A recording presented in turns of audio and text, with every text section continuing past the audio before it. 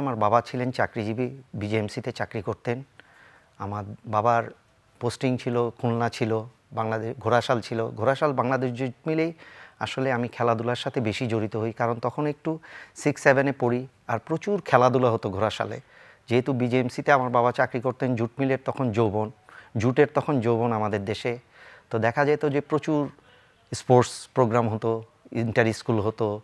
এই যে খেলাধুলা, এই খেলাধুলায় তখন দেখা যেত যদিও আমাদের ফ্যামিলিতে একটু প্রেশার ছিল লেখাপড়ার তারপরে ওটার ফাঁকে ফাঁকে আমি খেলাধুলা করতাম। খেলার পরিবেশ ছিল। খেলাধুলা, দেখা যেত আমাদের যারা বড় আছে, বড় ভাই যারা আছে বা উপরের ক্লাসে যারা পড়ছে, তখন তাদের খেলা দেখতে যেতাম। ইন্টার স্কুল হতো পলাশের মাঠে সার কারখানা পাইলট স্কুল কালীগঞ্জের, এনায়েত ভাইরা যেখানে খেলতো। তখন আসলে আমার মানে ছোটোকাল থেকেই দেখেছি যে কীভাবে ফুটবল খেলে বা কীভাবে ফুটবল প্লেয়ারদের এত পপুলারিটি যার কারণে দেখা যাচ্ছে তখন থেকেই ফুটবলের প্রতি আকৃষ্ট হই। তো আকৃষ্ট হওয়ার এই ফুটবলের স্বপ্ন দেখতে শুরু করি। সেভেন এইটে উঠার পরে আমার, আবার নিয়ে আসে। আমার যেহেতু আমি ফ্যামিলির সবচেয়ে বড় ছে, নাতনি ছিলাম, ছেলে হিসেবে। আমার ফ্যামিলিতে আমরা কাজিনরা অনেক সব মিলেই মেয়ের সংখ্যা বেশি। যার কারণে আমাকে আমার নানা বাড়িতে নিয়ে আসে ঢাকা। আমি তখন বিজয়নগর ঢাকায়, বিজয়নগরে থাকি। বিজয়নগরে থাকা অবস্থায় যেটা হয় তখন আরেকটা খেলার পরিবেশ আমি পাই। সেখানে ছিল, ধরেন এখনকার আমার ছোট মামা আবার খেলাধুলার সাথে জড়িত ছিল। ওনার নাম ইউসুফ।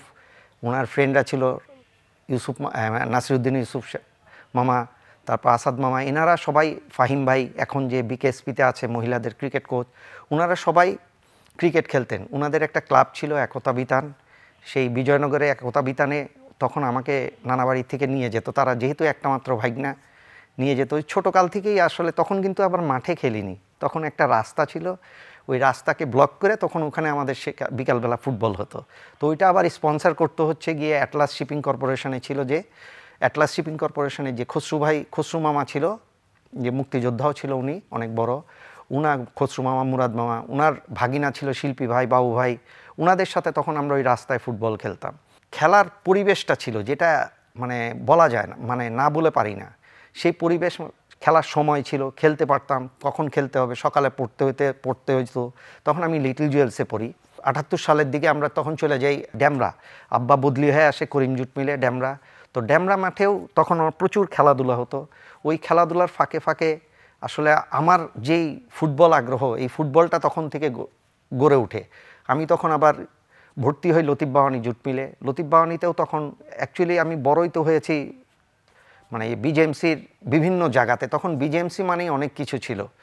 তখন দেখা যেত আদমজিতেও খেলা হচ্ছে, তখন খেলা দেখতে যেতাম। ছোট ছোট খেলাগুলো যে হতো ইন্টার স্কুল কিংবা থানা লেভেলের ওই খেলাগুলোতে তখন হায়ারে খেলতে যেতাম। এই যে খেলার, এই খেলার টানেই কিন্তু তখন দেখা যেত আমি কিন্তু অনেক ভালো ছাত্র যে ছিলাম তা না। কিন্তু লেখাপড়া বাসার যেহেতু প্রেশার ছিল, লেখাপড়া করতে হতো। তো এইভাবেই আমার গড়ে ওঠে শৈশব। তারপর আসি, ধরেন আমি ম্যাট্রিক পরীক্ষা। ম্যাট্রিক পরীক্ষার সময় আমি এসে বললাম গ্যান্ডারিয়া। গ্যান্ডারিয়া স্কুল থেকে আমি ম্যাট্রিক পরীক্ষা দিই। গ্যান্ডারিয়া স্কুলে তখন গ্যান্ডারিয়া হচ্ছে গিয়ে আর একটা খেলাধুলার পরিবেশ। আমাদের একটা ধূপখোলা মাঠ আছে বান্ন কাঠার উপরে মাঠটা। একটাই মাঠ ছিল যখন আমি খেলি।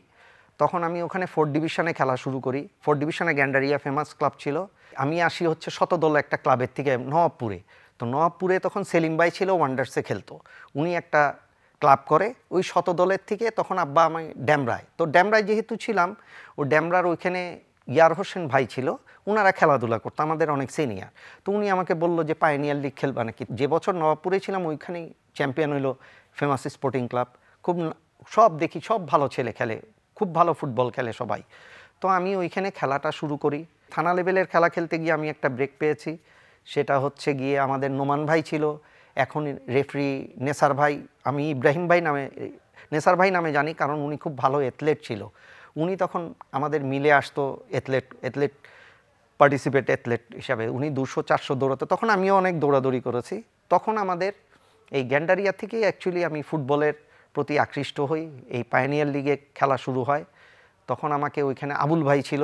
উনি একদিন আমার খেলা দেখে উনি বলল যে, তুমি ফেমাসে খেলো।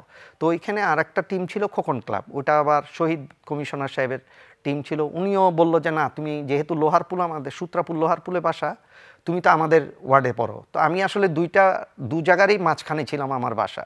তো তখন আমার খেলা ফেমাসে শুরু হয়। তো ফেমাস মানে কিন্তু তখন দেখা যেত আমরা ফোর্থ ডিভিশনে খেলতাম, আপনি বিশ্বাস করবেন না। ফোর্থ ডিভিশনে খেলার দিনে ফেমাসের খেলা মানে কিন্তু মাঠ ভর্তি মানুষ। এইদিকে পায়নিয়ার লিগ শুরু হয়েছে আশি সালে। তখন এই আশি সালে পায়নিয়ার লিগে শুরুর পরের থেকেই কিন্তু আসলে ফুটবলের মানে জাগরণ যদি বলেন ইয়াংদের তখন এই আশি সাল থেকেই অ্যাকচুয়ালি জাগরণ। আমি বলব, আমি যেটা দেখেছি।